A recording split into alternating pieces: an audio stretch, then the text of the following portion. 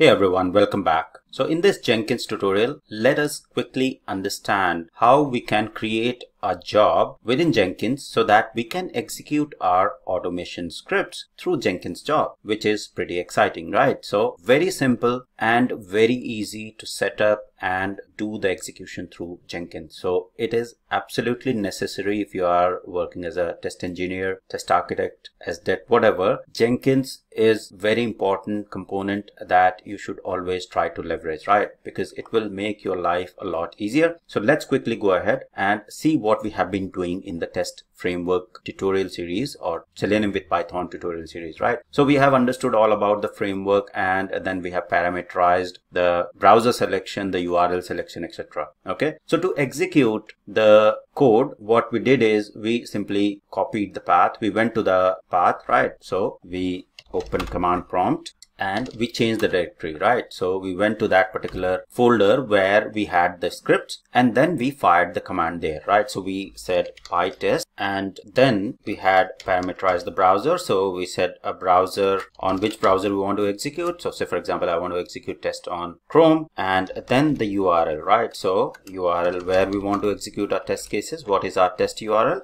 So we have been working with yatra.com. If you haven't watched all the previous tutorials, I would highly recommend to watch those because it is a complete Selenium with Python course which covers everything from basics till advanced till framework development. So it will be really helpful for you guys. So go ahead and watch it. It's absolutely free available on YouTube channel. So we have provided the URL. Okay and then the report right so to provide the report sorry i forgot this so url the browser and the html report because we want to generate the html report so i will simply say report.html right? So this is basically the command that we triggered or fired to run the test cases in the chrome browser. So if i'll run this you will see that chrome browser will come up and it will start executing the test cases and should give me the results right? Now this is the manual step that i'm doing every time right? So i am basically opening the command prompt, going that particular location, and then triggering the test cases, right? This can be easily done. So this a little bit of time for someone to go ahead and, you know, do all of this execution. So you can create a job in Jenkins to absolutely do the same thing, right? So that's what we are going to understand in this tutorial. So let's let this execution finish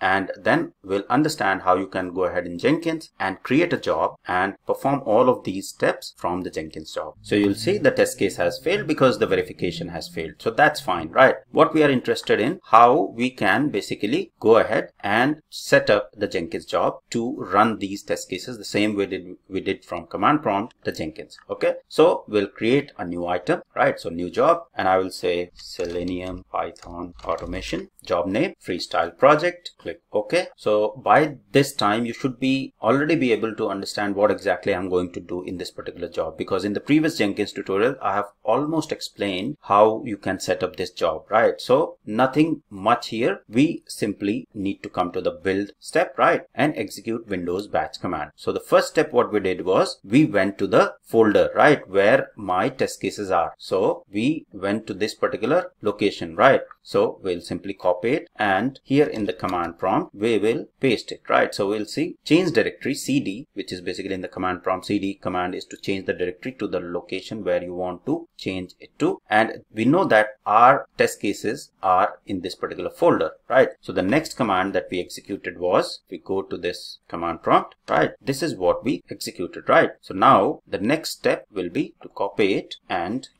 paste it here. Right so now report i will say report jenkins this time okay? So that we know that it is the report that has been generated from the jenkins right? So these are the only two commands that we want to set it up in this particular job right? To execute our test cases the only thing we were doing is we were opening the command prompt going to that particular location and executing this particular command. Now this will execute the test case in chrome browser because we have specified chrome and the url now we'll understand the parameterization of these in the next tutorial. But let's quickly go ahead and save it and run this and see that the test case is executing exactly the same way as it did when I triggered it manually. Okay, so we'll click on, so you'll see that I'm in the Selenium Python automation job click on build now and it should start building the project right? So you'll see Fire, uh, the chrome browser is already open okay? I'll maximize it. You will see that it is going ahead with the execution exactly the same way right? So it will even show you the browser opening and things like that. So it is scroll down should select the stops do the verification and then close it right? So you'll see the build is still going on in jenkins okay? And if you go to the console output you will see that all of the details that we used to see on the console on the command prompt. Everything has been logged here in the console output right? So we can simply go ahead and see what has happened as part of this execution. There has been a failure which is uh, the failure because of the verification. And all of the output you will see that the build has failed and we were able to execute this through the Jenkins job which is much more easier. Now we have done this setup once and now anyone can come to Jenkins depending on what access level you give in your project. So most of the people will be having the access and they can directly come and run this job or you can automate this job to run on a daily basis which will also understand. Okay? So that's the brief about about this particular job setup. And in the next one we will understand in the next tutorial we'll understand that how you can you know parameterize. We have already understood about the parameterization the choice in the list parameter. This is what we'll be using to parameterize the passing of the browser and the url uh, and the report name as well right? But i would recommend just give it a thought before you watch the next tutorial give it a thought how you are going to use the parameters in this case and change it to parameterized batch command and make it more robust. So that's all for this particular tutorial. I hope it was helpful. Thank you very much for watching